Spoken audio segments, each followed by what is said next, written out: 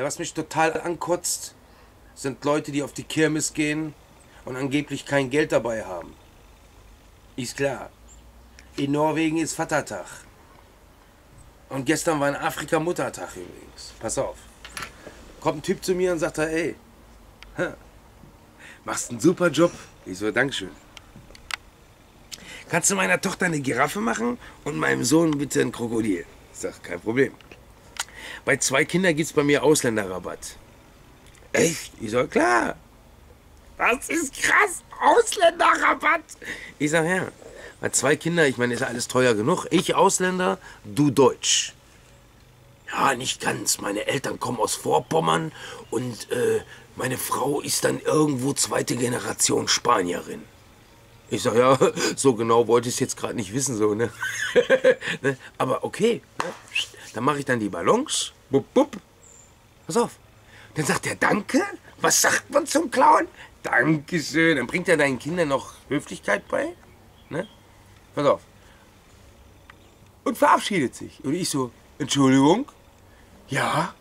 Wollten Sie mich nicht bezahlen? Wie? Äh, äh, kostet das Geld?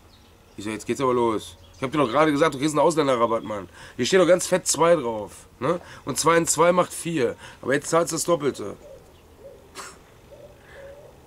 Ganz mutwillig zieht er sein Portemonnaie. Dann sag ich, okay, 4. Nee, ich zahle doch 4 Euro, wie es da steht, sagt er dann. Aber wird dann unfreundlich. Sag ich, ja, dann hat sich der Garantiefall jetzt auch gerade erledigt. Ist wahr. Man kriegt die 4, ne, zack, gibt's einen Euro zurück, aber gibt ja einen Fünfer.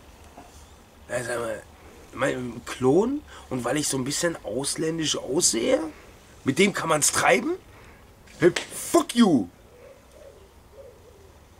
Es sind so viele Väter unterwegs, die auch ihre Kinder überhaupt nicht in Kontrolle haben. Ja, sorry, wie ich dazu sage, aber ist leider so. Jetzt weiß ich auch, warum die Bildung, warum es so schlechte Lehrer gibt in Deutschland. Ja, weil, weil von irgendeinem Ursprung müssen die ja sein. Von irgendeinem Deppen müssen ja gezeugt worden sein. Ja, und für mich haben die Lehrer von Deutschland echt nichts drauf gemacht. Für mich verblödet Deutschland noch. Ja, die arme Generation Deutschland. Es wird bald keinen Deutschen mehr geben, genauso wie es in Berlin keinen Berliner mehr gibt. Die produzieren auch keine Kinder mehr. Ja, wie denn auch? Nur noch am Saufen, am Kiffen haben wir, ey. Die armen Kinder, du. Die kommen schon stony zur Welt. Ja? Da ist ein neues Viagra-Baby geboren worden vor, weiß ich, drei Tagen. Vielleicht habt ihr das mitbekommen in der Presse, in der Bildzeitung stand es wieder. Ne? Das Baby konnte nach 15 Minuten stehen. Viagra. Ja? ja, und in Berlin-Neukölln, da ist auch ein neues Baby geboren worden. Ja? Das war noch 15 Minuten schon Stony, ja? weil der Vater mit einer Bong abends ins Bett geht.